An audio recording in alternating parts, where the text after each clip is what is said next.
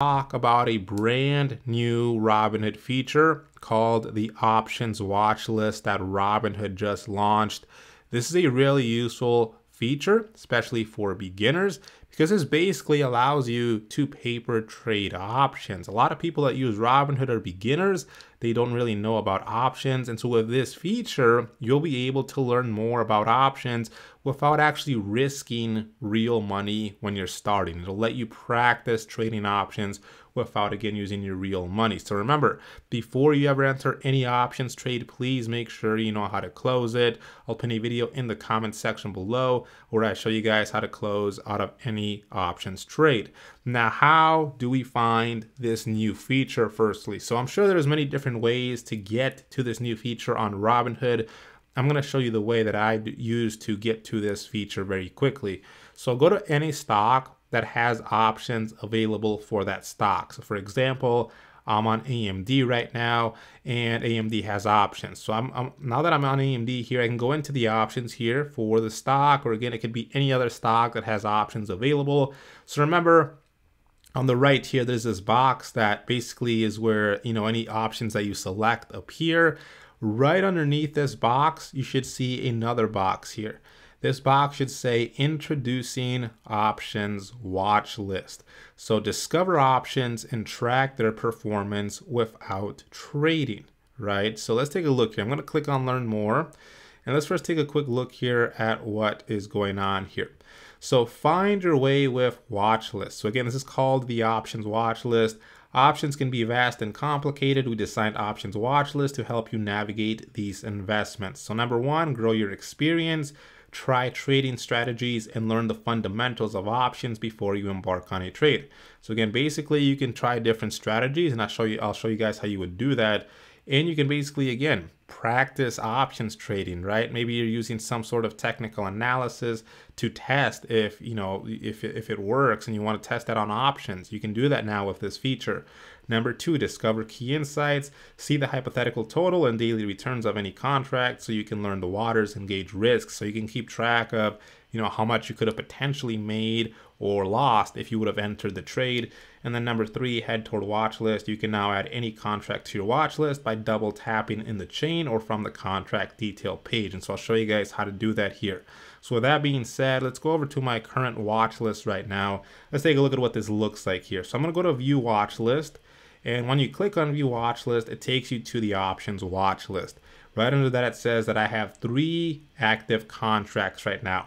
So I have a call that I've sold on DDD. I have a call, a call that I bought on DDD. And then I have a call that I bought on GOOGL. So I'm going to go over to one of these options here so that we can go through it and take a look at what it looks like and how you would read through one of these options on the options watch list. But before going any further, guys, I'd like to introduce today's sponsor, Webull. So right now you can get five free stocks valued up to $9,600 when you open and fund a new account by using the link in the description below.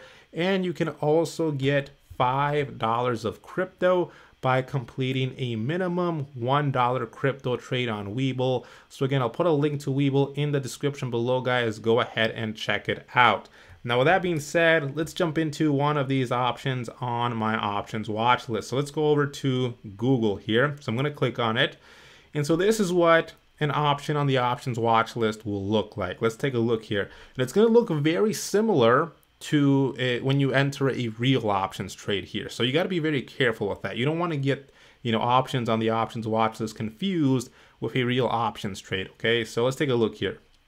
So firstly, it does give you this right here that says watch list, basically telling you that this is part of your options watch list here. Now, the way you read it is very similar to regular options, right? We have our ticker symbol, G-O-O-G-L. We have our strike for this option, $2,780. We have the type, this is a call option. And then we have the current price, which is 135. And if you scroll down, this will tell you watch list position. So you know this is an option on the options watch list. Track how this option has performed since you've added it to your watch list. You can hover or click on this learn more here as well to learn more about it. But let's actually just go through this here very quickly together. So uh, let's start over here on the right. So down here, cost when added, 125. So this tells you how much this option was worth at the time, the exact time that you added this to your watch list. So when I added this not too long ago, it was 125 here. It tells you what date you added this to your options watch list. So I added this on March 3rd, which was today. I added it a little bit earlier today gives me the break even price for the option and it tells me how many contracts I have. I have one and then it gives me my expiration date for this option, which is March 4th here, which is tomorrow. Then on the left here, we get our market value, how much this option is currently worth right now. So right now it's worth 135. Same thing with current price, right? It's 135 current price of the stock 2685 today's return up 10 13 dollars so up 10 percent. And then total return is going to be the same since again I added this option here today. So again since the cost when I added this was 125 and right now it's 138 my hypothetical return is around 13 15 dollars. So again this allows me to basically track this option and see how I would have done had I really purchased this call option with real money here, right? If I would have actually really purchased this, I would be up $15 right now. So as you can see, this is very useful because you can basically practice trading options now on here and keep track of all of it. Robinhood will keep track of it all here without, again, risking real money here. So it's very, very useful here. So again, this is how you would read an option on the options watch list. Now, one other thing I want to quickly show you guys here is if I go back to the options for the stock uh, that I'm, you know, currently trading options on the options watch list with, you can actually know if one of these options has been added to your options watch list. Because if I scroll up to that particular option that I had bought at the $2,780 strike, you will see that it gets denoted by a check mark, right? So next to the strike price, you will see a check mark. And so again, this is very useful here because if I'm scrolling through these options, I can right away know, hey, this is the option that I added to my options watch list. Uh, and this is very handy again so that you don't get confused between you know options that you've actually really purchased versus options that you've just added to your options watch list. So it does look like again it gets denoted uh, with this check mark here. It lets you know right away, hey, this is an option that I've added to my options watch list. Now, with that being said, how do I add a new option to my options watch list? So let's take a look at how we would do that here. So let's say I want to practice trading options on SPY, right? I'm to go over to SPY. And then again, I'm to go into the options here for this ETF. So I'm to go into SPY here. And then again, let's say I want to just practice uh, trading options on SPY. Maybe I have some sort of you know technical analysis strategy that I want to use or something else. Uh, I'm going to go ahead and try to practice using this. Uh, but again, using this, the options watch list without actually buying or selling real options here and risking real money. So what I can do here then is again very similar. You're going to start off how you normally would when you're purchasing or selling real options. So let's say I'm looking at the March 7th expiration date. And again, you can, you know, depending on what strategy or how you're feeling about the stock, you know, you can do calls, you can do puts. Someone go to puts. And then again, depending on, you know, the strategy you're trying to test out, you can buy the put, you can sell the put. Let's say we wanted to sell a put here on SPY and uh, test this out here. So here's what we would do.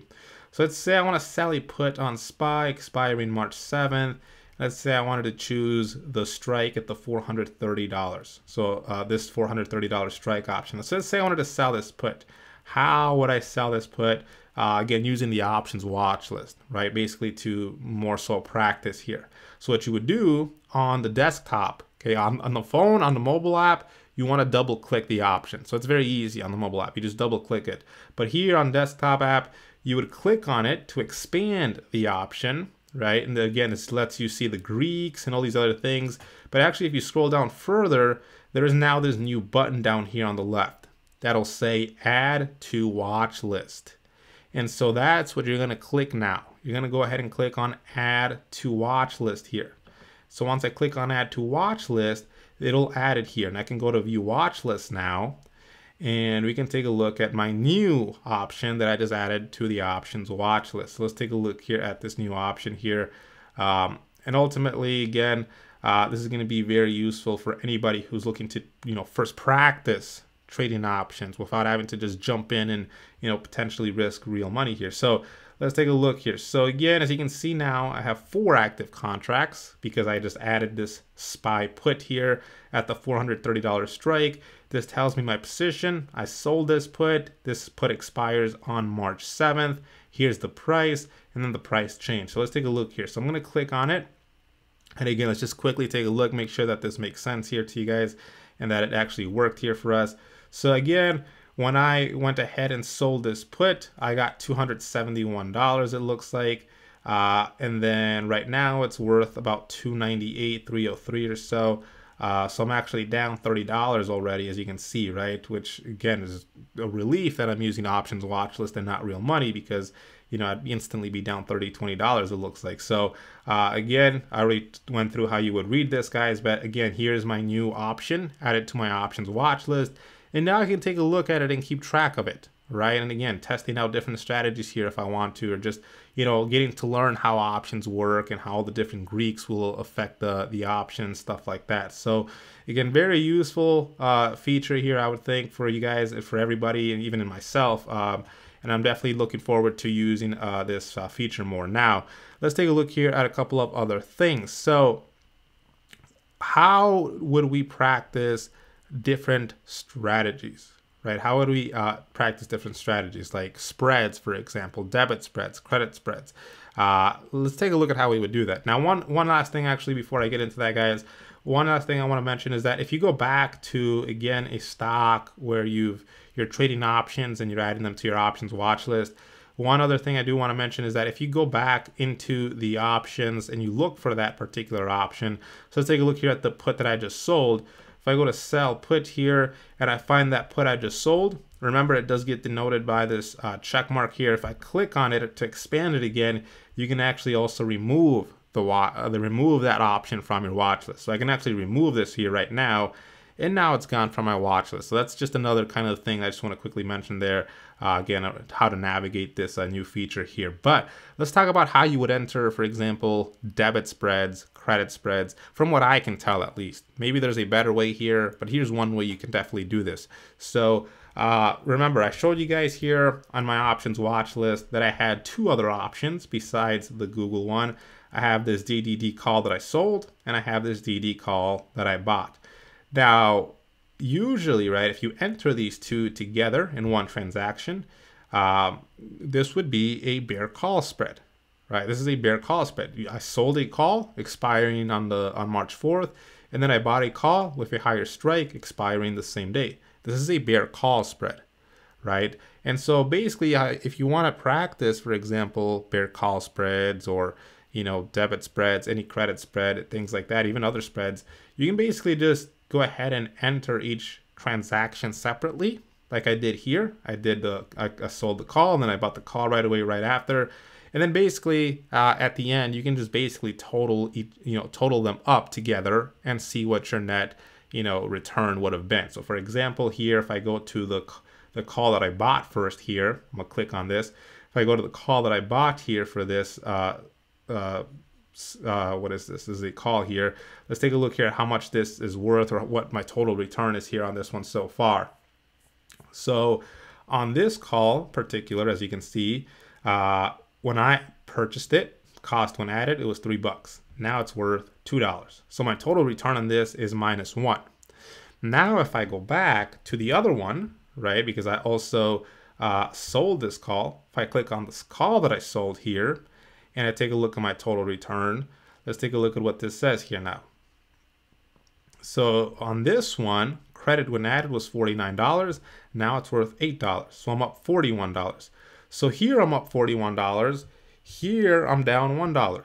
So if I total these two together, what does that tell me? It means if I would have entered these two together, which would have been a bear call spread, which is a bearish strategy, and DDD is down today, I would be up you know 40 i would have i would be up currently $40 or so right? Because we're just adding the total returns here. Total return for this one is 41 if i closed out of this one right now i'd get i'd make 41 on it. If i closed out of this one right now i'd lose one dollar on it. So combine them together would be net profit of $40 and that makes sense because again uh, this is basically a bear call spread that i'm entering here except i just you know the the the, the options aren't together uh, but we can basically, you know, kind of pretend that we did enter them together. And so basically we have a bear call spread here, and that's a bearish strategy. DDD is down today, and so again, testing it, I would I would I would be up about 40 bucks right now had I really entered this bear call spread using, you know, real money instead of using the options watch list. So again, very useful tool to use here, guys. Let me know if you guys plan on using this tool and what you think about it. If you guys have any questions, feel free to leave them in the comments section below. Check out the Discord, link to it in the description below. Hope you enjoyed the video. Let me know what you guys think, and I will see you guys next time.